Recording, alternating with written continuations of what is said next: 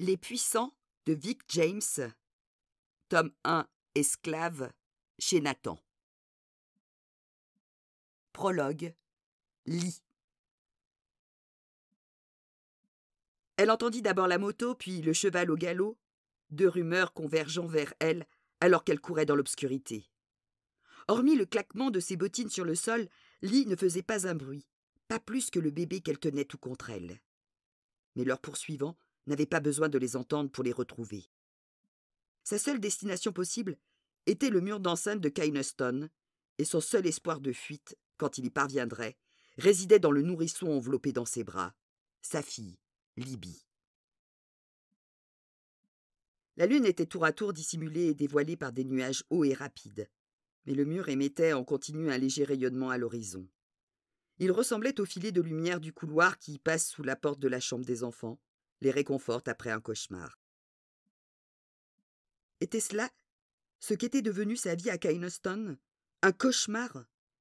Autrefois, cette vie avait semblé réaliser tous ses rêves.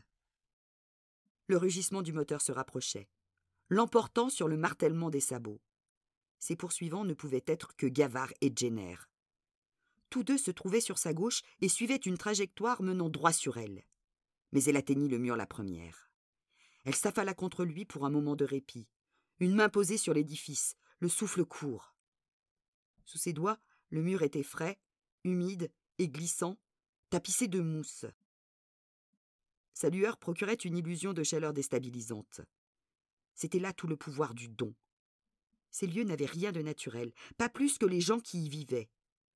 Il était temps de partir. S'il te plaît, ma chérie, s'il te plaît, chuchota-t-elle à Libye, repoussant le coin de la couverture qu'elle avait tricoté et embrassant son crâne soyeux. Le bébé s'agita lorsque sa mère dégagea délicatement un de ses bras pour prendre sa petite main.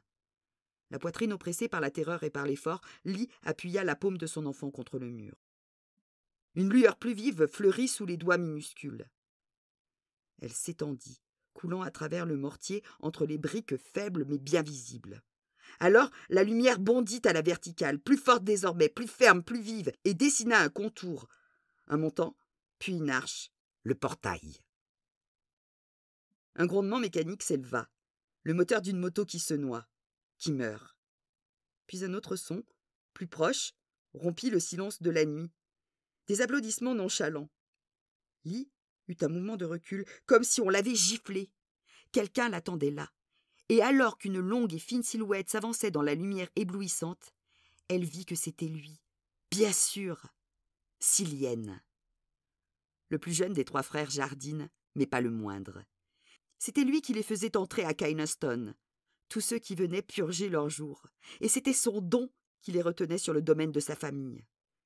Comment avait-elle pu s'imaginer qu'il la laisserait s'enfuir? Les lents applaudissements cessèrent. De l'une de ses mains étroites aux ongles rongés, il désigna l'ouvrage de ferronnerie voûtée. Je vous en prie, dit-il comme s'il invitait la mère et la fille à entrer prendre le thé. Je n'essaierai pas de vous arrêter. Je suis impatient de voir ce dont Libye est capable. Tu sais que j'ai certaines théories. Le cœur de Lee battait à tout rompre. C'était bien le dernier d'entre eux à qui elle aurait fait confiance, le tout dernier. Pourtant, elle devait saisir cette chance, même si ce geste n'était guère plus que celui d'un chat retirant momentanément sa patte du dos d'une souris. Elle étudia le visage de Silienne comme si le clair de lune et la lumière du don pouvaient révéler ses véritables intentions. Et lorsque celui-ci, peut-être pour la toute première fois, croisa son regard, elle crut y déceler quelque chose. De la curiosité? Il voulait savoir si Libye pouvait ouvrir le portail. Si elle y parvenait, il les laisserait peut-être passer toutes les deux. Uniquement pour la satisfaction d'assister à cet événement. Et aussi, certainement, pour contrarier son frère. Merci, souffla-t-elle dans un murmure. S'appellerait Aude. Ose savoir, en effet. Si tu oses, je saurai. Il sourit. Lys savait bien qu'il ne fallait pas y voir un signe de compassion ni de bonté. Elle fit un pas en avant et posa la paume de Libye contre le portail, qui se mit à rougeoyer sous les doigts collants du bébé. Tel du métal en fusion se déversant dans un moule de fonderie, il s'épanouit, débordant de vie, dans une efflorescence de fer forgé, de feuilles et d'oiseaux fantastiques surmontés des lettres P et J entrelacées. Le portail n'avait pas changé depuis le jour où, quatre ans plus tôt, elle était arrivée à Kynaston et où il s'était ouvert pour la laisser entrer. Pas plus qu'il n'avait changé sans doute depuis le jour de sa création, des centaines d'années plus tôt. Mais il demeura fermé. Désespéré, Lee agrippa l'une des lianes métalliques et tira de toutes ses forces. Libby se mit à hurler. Mais ce vacarme n'avait plus aucune importance, pensa Lee avec une morne désolation. Elle ne quitterait pas le domaine de Kynestone ce soir. Ah, comme c'est intéressant, murmura Silienne. Le sang de ton enfant, ou plutôt de l'enfant de mon frère, lui permet de réveiller le portail, mais elle ne possède pas le don pour le commander. À moins peut-être qu'elle essaie de te dire qu'elle ne veut pas quitter sa famille. Vous n'êtes pas sa famille, cracha Lee avec une fureur nourrie par la peur, serrant plus fort sa fille contre elle, les doigts pris de crampes à force de lutter contre le métal rigide. Ni Gavard, ni aucun de. Un coup de feu retentit, et Lee tomba à terre en poussant un cri. Une douleur aussi vive et rapide que la lumière courant dans le portail traversa son corps.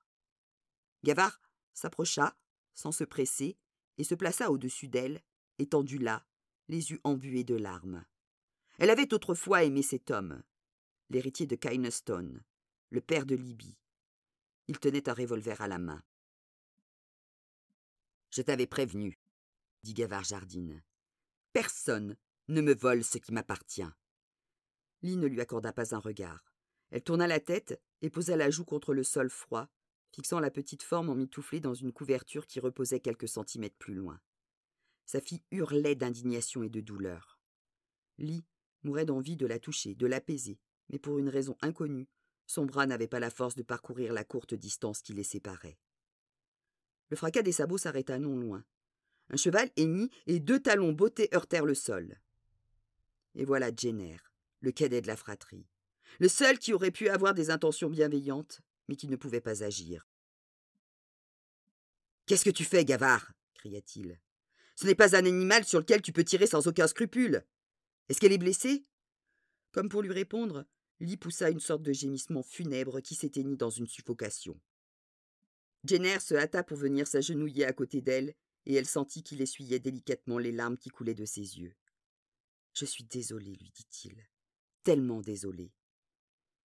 Dans la pénombre qui s'épaississait autour d'elle et que le portail étincelant ne dissipait en rien, elle vit Gavard ranger son arme sous son manteau, avant de se pencher pour prendre leur fille dans ses bras. Silienne passa devant eux, se dirigeant vers la grande maison. Gavard lui tourna le dos et se recroquevilla sur Libye, dans une attitude protectrice. Lee ne pouvait qu'espérer qu'il se montrerait meilleur père qu'amant. Silienne s'écria Jenner. Sa voix lui paraissait distante, comme s'il parlait depuis l'autre côté du lac, bien qu'elle sente encore sa paume sur sa joue. Silienne, attends Tu ne peux pas faire quelque chose Tu sais comment ça marche, dit-il si doucement que Lee se demanda si elle n'avait pas imaginé sa réponse. Personne ne peut ramener les morts. Pas même moi. Elle n'est pas. Mais peut-être que Jenner ne termina pas sa phrase. Et Gavard avait certainement calmé Libye. Et le portail devait s'être estompé, la lumière du don s'être éteinte, car tout devint noir et silencieux.